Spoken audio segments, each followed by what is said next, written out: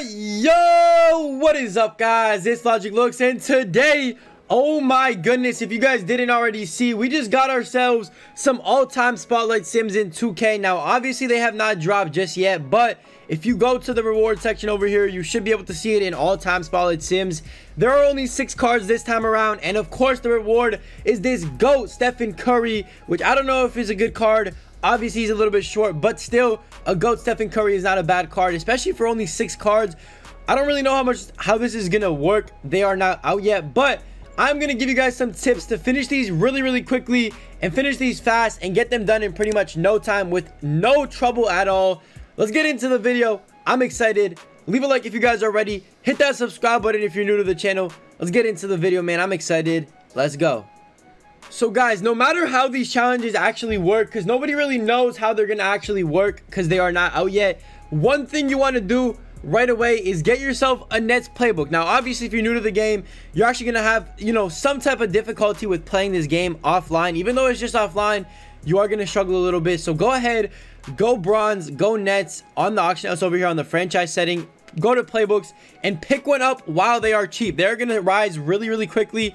I already have a lot of them in my auction house, so I'm kind of glad about it. But if you guys don't have one, save up the MT, pick yourself up a Nets playbook. It will help you a ton if you guys are, you know, in close games against the CPU. You're going to be able to take the lead very, very easily with this playbook. If you want to learn how to, you know, run quick through STS, which is the play you're going to need to run from this playbook, search it up. There are a ton of videos on it. Even I made a video on it, so you can look back at that but definitely learn how to run quick through STS. That is the first thing I would do because if you're in a close game with the CPU, this is the best way to come back and actually take the lead. Or if you're down by a lot, it's easy to actually just take the lead with this play. You pretty much get a bucket every single time down the line, especially because it's against the CPU. So definitely pick up a Nets playbook learn how to do quick through STS and run quick through STS while you're playing these offline challenges. Now, obviously, it is going to be a bit harder, you know, at first to adjust, but once you know how to run it, you are going to be getting buckets every single time down the floor. Definitely go watch a video on how to run quick through STS, and let's move into the second thing that will help you win these challenges way quicker. Now, obviously, boys, I'm not really sure how long it's going to take to finish these challenges because obviously they're not even out yet in the market or in the, I guess you would say, offline challenge area. So we're not really too sure how long it's going to take to finish all these challenges. But one thing I got to say right now, if you guys use the Quick Through STS play with that Nets playbook, you are going to have a much easier time. You guys can see these challenges. Now, I know I'm not done the Larry Bird challenges because I didn't really, you know, grind through them that fast. But I am getting there pretty quickly. And honestly, bro, they were easy a piece of cake pretty much. I did not lose a single game. So definitely one thing I would do is pick up the Nets playbook. That's the first thing. The second thing I would do is if there is a certain team restriction, I would go ahead and build up like five lineups at once. So let's just say you needed to use, you know, a team full of Celtics players, a team full of Warriors players, a team full of Charlotte Hornets players, and a team full of Pacers players.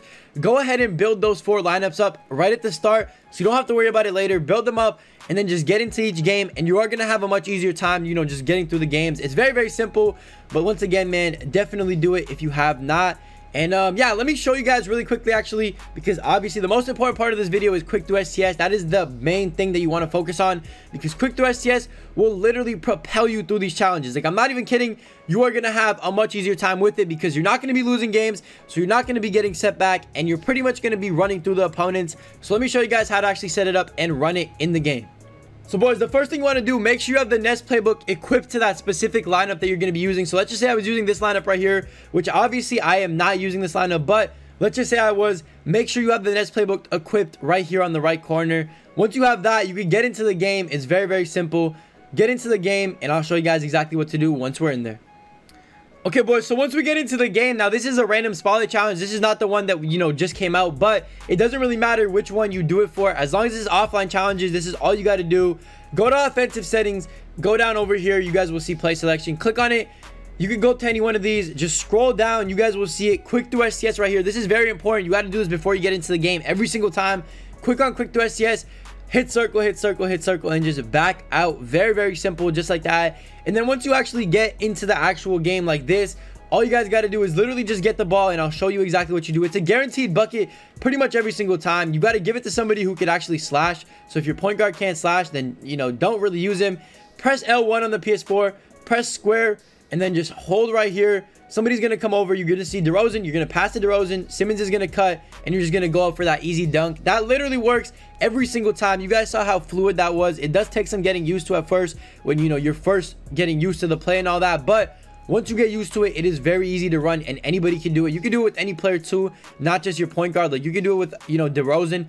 Press L1, square, stand on the spot right here which is pretty important. Somebody will come over you pass to them you'll cut in and then easy dunk every single time. Just make sure your player can dunk. That's one thing i would recommend. And number two the first player that passes the ball has to be the person that's going to score. So make sure he's the one that can dunk. So don't mess that up. And um literally that's literally it bro. This is the fastest way to get through challenges in you know in reality you're not going to lose games if you use this method because even if you're down by 10 you are going to be able to get those easy buckets like every single time. You guys can see bro even though you know the opponent might score on you a lot they're not going to score on you every possession. So just get the easy bucket every single time and that's basically it man.